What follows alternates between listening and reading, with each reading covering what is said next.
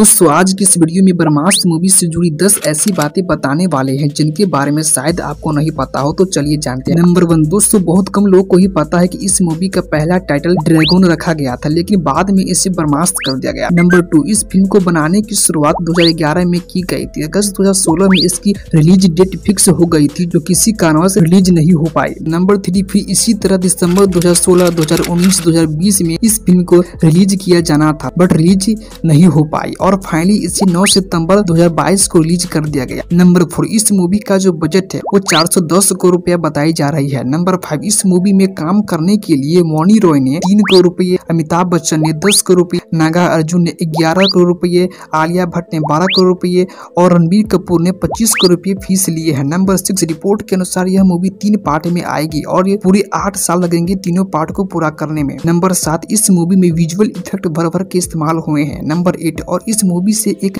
Kinematic universe की शुरुआत भी होने वाली है, जिसमें ऐसे ही अलग अलग अस्त्र के बारे में बताया गया है। नंबर नाइन फ़िल्म में नागा अर्जुन के पास नंदी अस्त्र अमिताभ बच्चन के पास प्रभास और रणबीर कपूर के पास अग्नि अस्त्र है। नंबर टेन इस फ़िल्म में शाहरुख खान का भी एक कैमियो रोल दिखाया गया दोस्तों, आप लोग के फैक्ट कैसा लगा हमें कमेंट बॉक्स में बताबे और ऐसे फैक्ट को देखने के लिए हमारे चैनल को सब्सक्राइब ज़रूर कर ले।